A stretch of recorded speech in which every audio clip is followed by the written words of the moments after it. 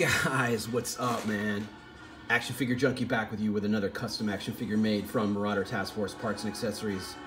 And the right, perfect amount of Hasbro thrown in for good measure.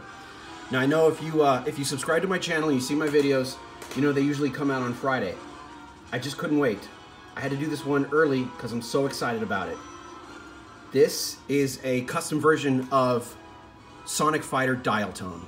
So if you watch my videos, you've seen that I've, uh, I've already done a dial tone. In fact, let me get him. Where is he?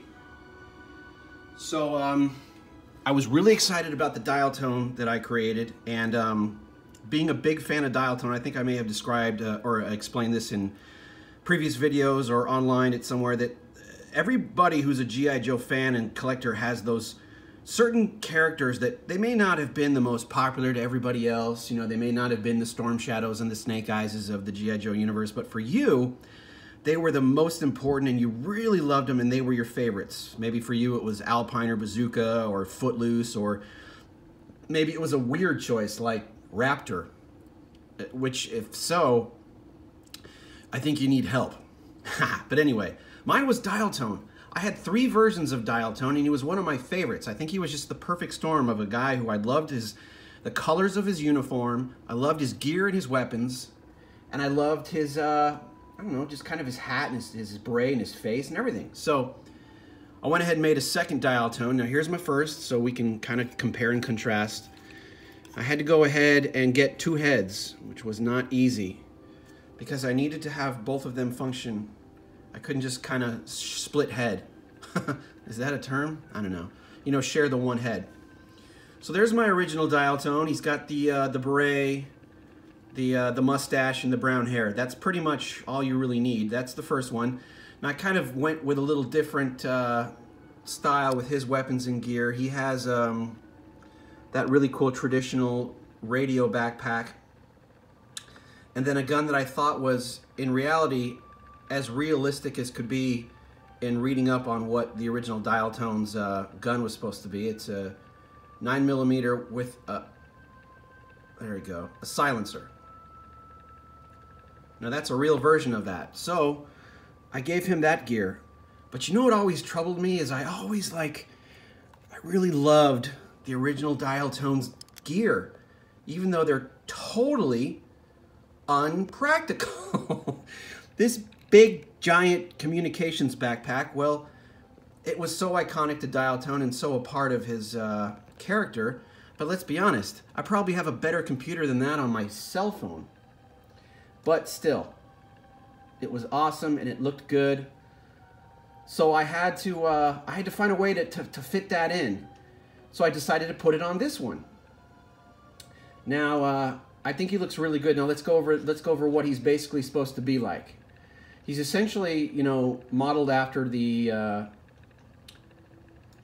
uh, Sonic Fighter dial tone. The Sonic Fighter, Sonic Fighter was a line of GI Joe that came out uh, in the late 80s. I was never really a big fan of that line. I thought most of the figures, uh, their gear and accessories and weapons were beyond lame. So um, I just took the Sonic Fighter dial tone back in the day and replaced his ridiculously oversized, silly ass gear for the uh, original dial tone stuff. Now if you can kind of take a look here as I'm messing with my program and my camera. You can compare and contrast the original to the current. I really did love his color scheme though. Blue, black, and gray with a lot of silver. So I decided to just do that. Blue, black, and gray with a healthy dose of high-o silver.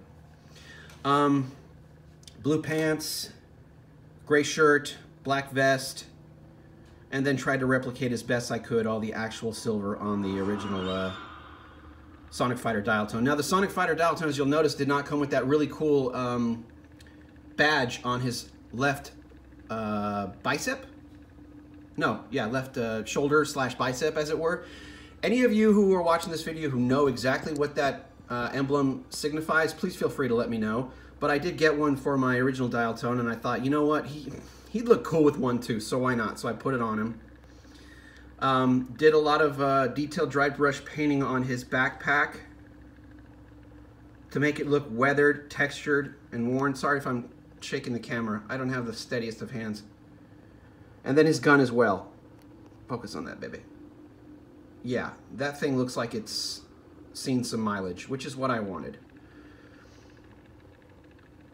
There we go. So, um, yeah, I scratch. I like to paint the armor and make it look scratched, used, worn, and, and just textured. Not too crazy, because uh, I still, I you know, still like to keep it somewhat cool looking.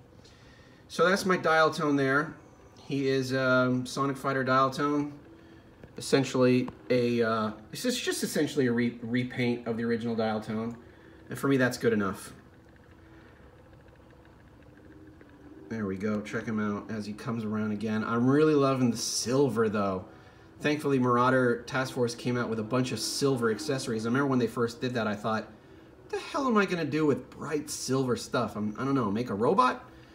Well, thank you for doing that, guys, because this dial tone would have not worked without silver because that's how we originally came, and it really looks cool and popping on the gray, black, and blue. So there you go. If you have any questions, concerns, please feel free to let me know. Um, I really appreciate you watching. I appreciate you listening. Feel free to check me out on all the socials. I'm on Instagram. I'm on Facebook. I'm on Twitter, Reddit. Obviously, I'm on YouTube. Ha! Duh. Check me out everywhere and um, like, subscribe, leave a comment. And I really appreciate you guys watching once again. Have a wonderful weekend. If you're watching this, uh, you know, before it starts, I'm probably going to be posting this on Thursday because I'm so excited to get it out. I really loved this dial tone. Maybe we should uh, let both of them share the last couple seconds of the video. Tell me which ones you guys like best, because honestly, I couldn't pick. I love having both of them. Nice. Look at those. I don't like to be proud of my work because, you know, I don't like to be prideful, but man, I don't know. I gotta tell you guys, I think I did a fairly decent job on these two guys. All right. Anyway, I've uh, bored you enough.